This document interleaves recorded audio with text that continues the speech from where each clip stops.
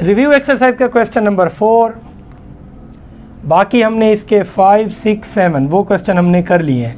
Question number five six और seven हमने last video में किया था. आज हम क्वेश्चन नंबर फोर करते हैं. सोल्यूशन सबसे पहले यही था कि आप अंडर रूट को ख़त्म करते हैं, लेकिन इसमें यह है कि इस तरह का आपने एक्सरसाइज में क्वेश्चन किया है. I think question number three का पार्ट सेकंड था. तो ये उसी तरह से है. इसका अंडर रूट रहने दें अभी, पहले फैक्टर बना लें और इस पॉइंट को भी ख़त्म कर लें। फिर इस माइनस को हम ऊपर ले जाएँगे।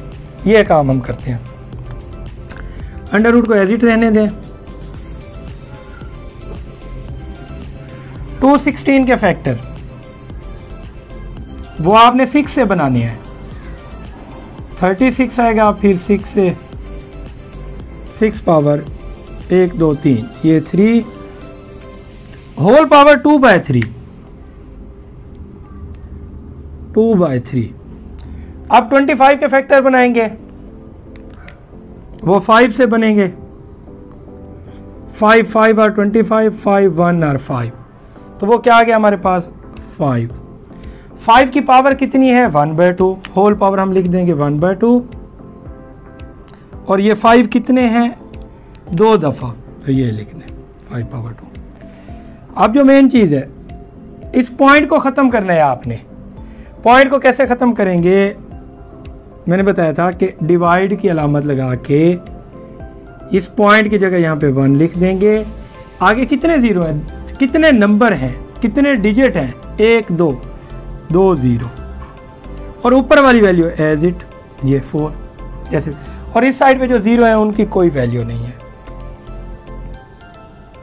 Whole power minus three over two इस अंडर रूट को आप टोटल लिखेंगे, सारे भी आना चाहिए ये वाला अंडर रूट यहाँ तक। आप देखते हैं जिनकी कटिंग होती है, हम कटिंग कर देंगे जिन नंबर्स की।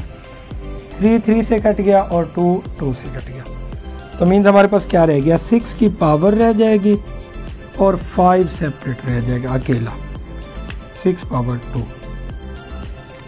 ये हमारे पास अंडर रूट आ जाएगा। अब हम क्या करेंगे? इस सारी पावर को ऊपर लेकर जाएँगे। ये पॉजिटिव हो जाएगा। ये जो माइनस थ्री बाय टू है, ऊपर जाके क्या हो जाएगा? पॉजिटिव हो जाएगा। डॉट फोर ओवर हंड्रेड ये आ जाएगा हमारे पास थ्री बाय टू जो पावर नीचे डिवाइड हो रही थी, हम उसे ऊपर ले गए तो वो पावर क्या हो गई? पॉजिटिव हो गई। अगले स्टेप में हम देखते हैं क्या करना है इसको। सिक्स टू रहने दें। पावर ऊपर। फाइव भी एज इट है, वो रहने दें।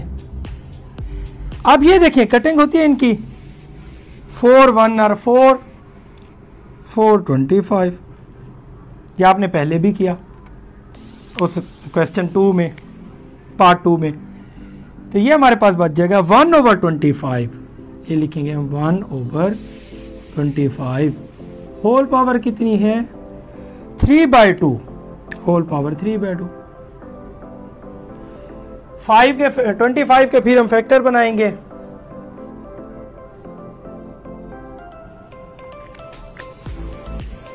Six power five